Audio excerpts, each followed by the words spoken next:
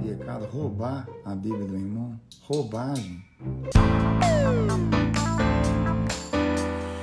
O que você achou da igreja que cantou música secular no meio do culto? Uai, eu quero saber mais é da minha igreja, onde eu congrego e a vida que eu tenho que viver dentro da minha igreja.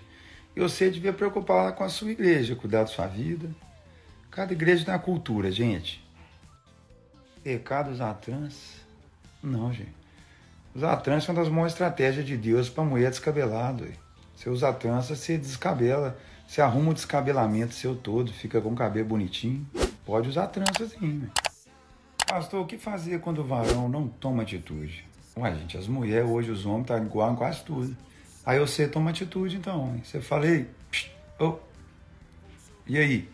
Você pode ter atitude também, ué. Pecado, roubar a Bíblia do irmão. Roubagem. Roubar a Bíblia.